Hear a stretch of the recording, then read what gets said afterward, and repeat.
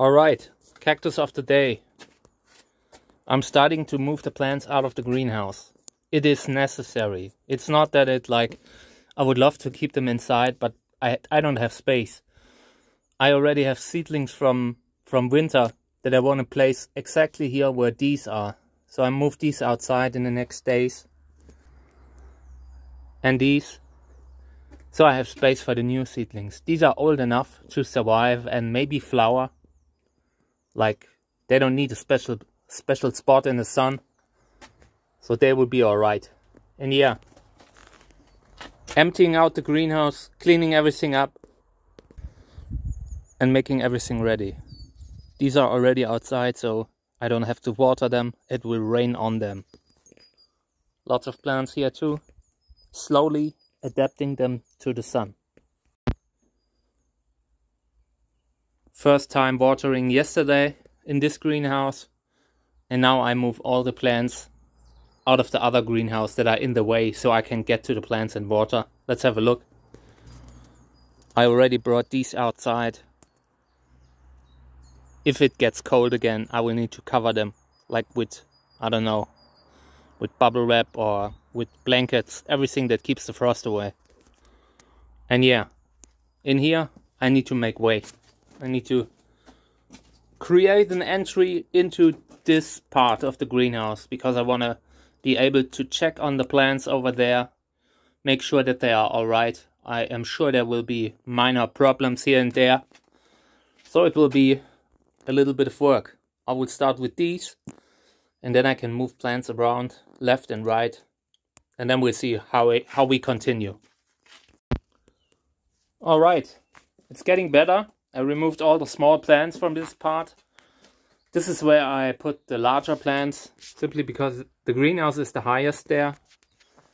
Um, working with a greenhouse with these plants is not great with this type of columnar cacti, but I'm making the best out of it. I simply can't afford a taller one, so I just got to do what I got to do. So I make it work, yeah.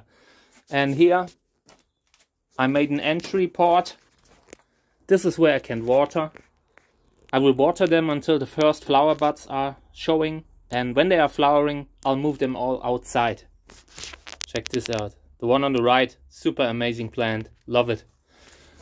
And yeah, I will start watering and fertilizing today. Now that I have a little bit space to work, this will be no problem. These will all flower in a few months, in a couple of months. And the columnar cacti, hopefully too. You never know with these. Sometimes they flower, sometimes they don't. I usually have like five, six plants that are flowering of the large ones every year. You um, you never know. The problem is that I gotta cut them once they reach the roof, you know, and that's exactly the size they need to be to flower. So um, it's always you get them to flower for a couple couple years, and then you need to take the tip off. But yeah, small greenhouses over here, it's getting cold in winter and they need to be well insulated and this stuff costs a lot of money. So um, I built this one in 2019 and another one in 2018. This is the first one that I built. Not huge, but it doesn't cost much to heat them in during the winter. You know, when you have cold winter time, you always need to be concerned about the heating costs. It just, I used to be super poor and had problems heating my own house and it's it's great that I can afford heating these small greenhouses. It's just a lot of money these days to pay for electricity. That's why I use small greenhouses. They don't cost that much to heat and they heat up very, very fast during winter. And yeah, that's why I have so many plants in my greenhouses. Earlier I brought a load of ladybugs into the greenhouse today. Like they are currently storming the house. And I collected them all and brought them here inside to make sure they can deal with the pests. Natural pest um, destroyer